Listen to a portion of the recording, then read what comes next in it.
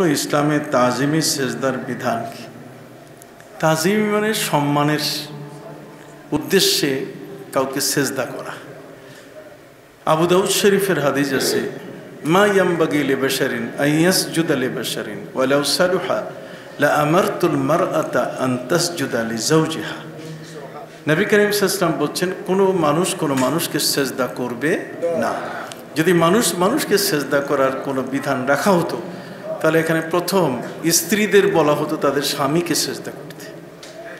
নবীজি বলছেন, মা ইয়ামবাগি লিবাশারিন আইয়াস জুদা লিবাশারিন ওয়ালাউ সালুহা লা আমারতুল মারআতা লিজাওজিহা এখন আপনি জানেন, ইসলামের কিছু বিধান সময়ের কালে পরিবর্তন হয়েছে। তবে কতগুলো বিধান অপরিবর্তিত আছে। যে বিধানগুলো পরিবর্তন হয়েছে, যেমন হজরতে মা হাওয়া আলাইহাসালাম তিনি আঠারো জোড়া সন্তান পৃথিবীতে জন্ম দিয়েছেন, প্রতিবার দুইটা করে। দুটি সন্তান টুইন ছেলে এবং কি। তো একই মায়ের গর্ভ থেকে ছেলে মেয়ে যদি জন্ম নেয়, তাহলে আপন ভাই বোন হজরতে আদব আলি ইসলামের সেই সময়কালে আপন ভাই বোনের মধ্যে বিবাহ জায়েজ ছিল।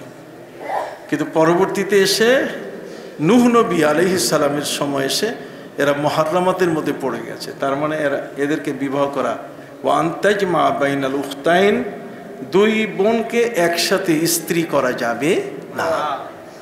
একজন স্বামী, তার আপন দুই বোনকে এক ঘরে আনতে পারবে না। বিবাহ সূত্রে স্বামী হতে পারবে না। তো এখন আদম আলিস ইসলামের সময় ছিল এক আইন, যেহেতু, ইয়া আইয়ুহান নাসুত্তাকু রব্বাকুমুল্লাযী খালাকাকুম মিন ওয়া খালাকা মিনহা যাওজাহা। ওয়া বাসসা মিনহুমা রিজালান কাসীরা ওয়া নিসা। পৃথিবীতে মানুষের বিস্তারের জন্য তখন ভাই বোন আপনজনের মধ্যে বিবাহ জায়েজ ছিল। পরবর্তীতে এসে নুহ নবী আলিস ইসলামের সময় এসে এটা হারাম করে দেওয়া হলো। বুঝতে পারছেন কথা? সে আইনটা এখনও বলবৎ আছে। হজরতে ইউসুফ আলিস ইসলামের যুগ পর্যন্ত মানুষ মানুষকে সেজদা করত। মানুষ মানুষকে কি করত। কিন্তু এরপরে আমাদের ইসলামী শরীয়তে এটাকে হারাম করে দেওয়া হয়েছে। অতএব তাজিম হোক আর যেই নামেই হোক না কেন, কোনো মানুষ কোনো মানুষকে কবরে হোক, সামনে হোক, কোনোভাবে সেজদা করা জায়েজ নাই। হারাম।